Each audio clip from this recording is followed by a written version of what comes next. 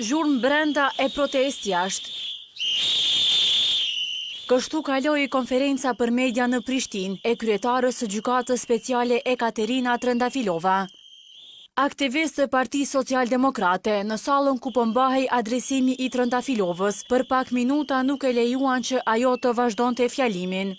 Lisian Perolli nga PSD-ja, tha se Trëndafilova është kryetare e një gjykate të padrejtë dhe nuk mund ta lejojnë që fjalimi i saj të kalojë në qetësi.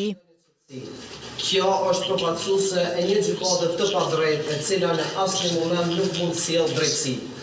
Kjo gjykatë po dëshiron Ta ndryshojë historikun e luftës së Kosovës, duke e bo luftën çlirimtare si luftë e cila ka ndodhë në mes të dy agresorëve e jo si luftë çliruese për këtë popull për pavarësi dhe liri.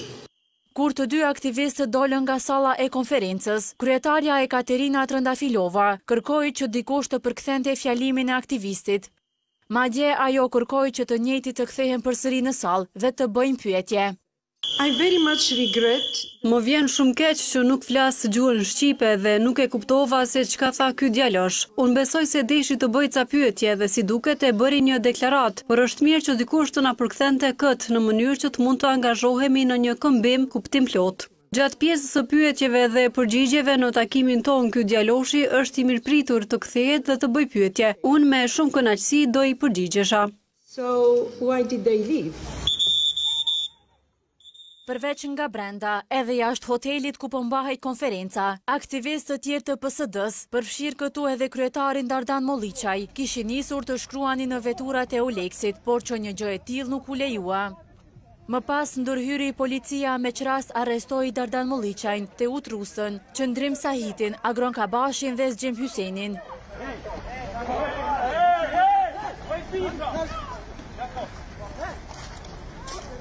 Zëdhënësja e këtij subjekti politik Natyra Kuçi, ka thënë se policia ka përdorur dhunë të tepruar ndaj aktivistëve të PSD-së. Policia e Kosovës Si zakonisht me PSD-në reagoi në shpërputhje dhe aty u pa një dhunë e cila ishte joproporcionale, ishte e paarsyeshme në raport me aktivistët tonë. Ndaj mënyrës së arrestimit të aktivistëve, Inspektorati Policor i Kosovës ka njoftuar se ka nisur hetimet. Inspektorati Policor i Kosovës deri më tani nuk ka pranuar ndonjë ankesë lidhur me këtë rast, sidoqoftë pas publikimit të lajmeve rreth këtij incidenti dhe pas njoftimit edhe nga vetë policia. Hetuesit e IPK-së kanë dalë në vendin e ngjarjes dhe do të analizojnë rrethanat e reagimit policor në përputhje me autorizimet ligjore të IPK-së. Policia e Kosovës ka njoftuar se të gjithë të arrestuarit janë liruar në procedurë të rregullt.